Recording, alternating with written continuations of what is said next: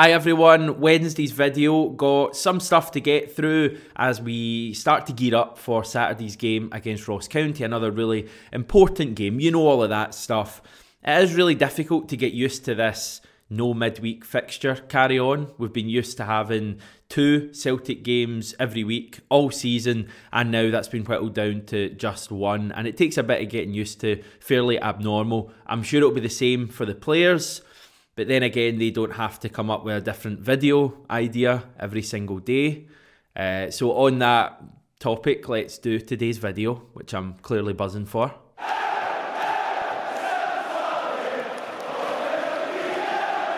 Well, that is a little bit of a lie because I am quite excited. On today's video, we're going to chat about Carl Starfelt, who is, it's fair to say, by far the most criticised regular Celtic starter so far this season he just seems to attract this whole bomb scare narrative, this narrative that he's not very good at all.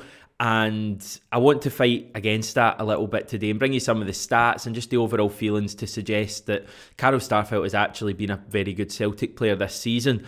Now, as we know, he does attract this narrative mainly from the media obvious examples. I mean, even on, on Monday against Dundee United, Stephen Craigan, who was in co-coms for Premier Sports, was on Starfelt's case more than any other player on the pitch. Michael Stewart clearly doesn't rate him either. He went for him during the cup final against Hibs, and Starfelt is regularly spoken about in a negative context on shows like Sportsound and Super Scoreboard. He's kind of the whipping boy.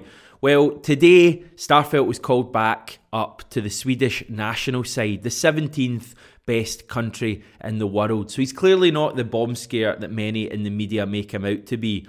And if I'm honest, there are still sections of the Celtic support who haven't taken to Starfelt. We regularly have people in our comments who blame Starfelt seemingly anytime Celtic concede a goal or draw or lose a match. But the reality is that Starfelt has been what I would regard as very good Celtic signing under Ange Postecoglou. And I'm going to attempt to shed some light on that and explain why in today's video. Now, first of all, Starfelt has been one of Celtic's key players this season. He's played more minutes than all but two of Celtic's players, that's Joe Hart and Callum McGregor. He's played over 3,500 minutes, which is equivalent to 40 games. Starfelt has had only one real injury this season when he missed five games in November. In those five games, Celtic shipped eight goals in the following 12 games that Starfelt played when he came back, we conceded just five goals. Overall, Starfelt has been one of the most consistent members of the best defence in the league, a defence that has conceded just 18 goals in 30 matches. Now, I got my calculator out and I believe that's an average of 0.6 goals conceded per match. If you actually take away the games when Starfelt wasn't playing, that goes down to 0.54 per match. So he clearly improves the defence, but even overall, he's been part of the best defence in the league by a fair bit. The theory that Starfelt is rash and lets down Celtic regularly is one that's been peddled by a lot of people. It's not fair though. Other than the two yellow cards that he had in eight minutes at Ross County, which wasn't a great showing from Starfelt, I think we'd all admit. He has had only two other bookings in the league this season, and that's in a total of 26 matches. He's had none in the Cups and just one yellow card in nine European matches. People often label him as being unsure in possession, a bit of a calamity, a bomb scare, all of those terms have been used. Starfelt has actually completed more passes per 90 minutes than anyone else in the top flight. He averages just under 94 passes per match. Now, I know that just because it's the way Celtic play, that our defenders are going to have more of the ball. That's where we start most of our attacks, but that's the facts. Uh, he also has the highest pass completed percentage in the league, with 91.3% of his passes finding their target, which is just more than Nir Bitton. Again, not bad for a guy who's apparently pretty unsure in possession. That's not to say that there aren't things that I think Starfelt can do better. I think he's looked a little bit unsure at times when he's been put up directly against a big physical striker. The cup final was an obvious example of that. There have been other ones as well.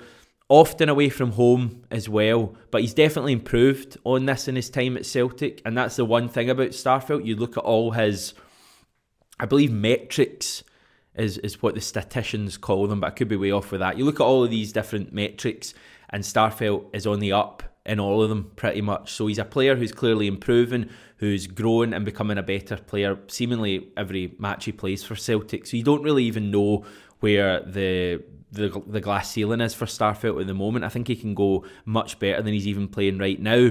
I guess the final question to ponder when we're chatting about Starfelt is why is he ridiculed by so many, including some Celtic fans?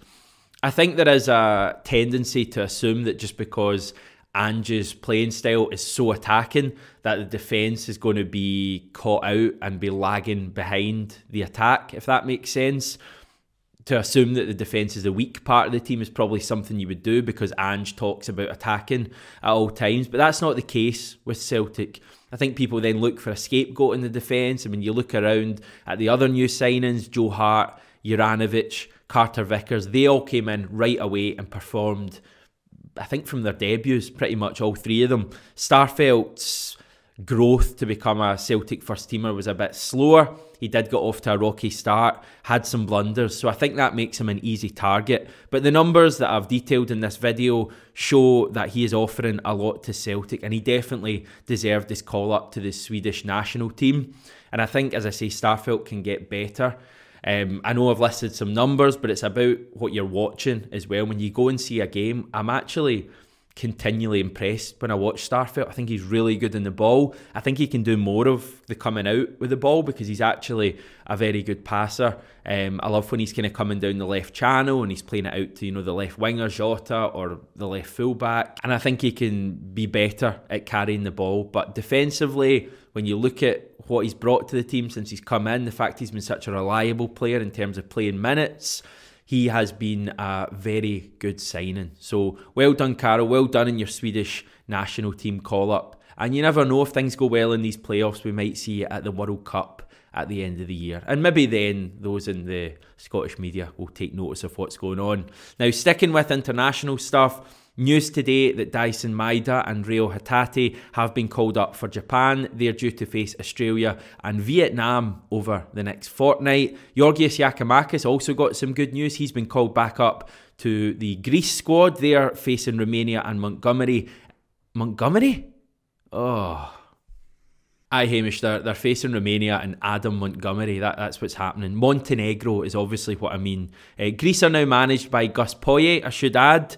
No Barkas in that Greece squad, uh, obviously. At the time of recording, we're still waiting to hear on the likes of Croatia, Australia, and Israel naming their squads, where Celtic players will almost certainly be involved. And finally, everyone, by uh, demand, please welcome back the Scottish Premiership supercomputer or most notably articles about it. Yes, it's usually reserved for when Rangers are top of the table. Our little cyber friend has returned and has some good news for Celtic's title bid. Just want to clarify right away that I am firmly taking the piss with this segment.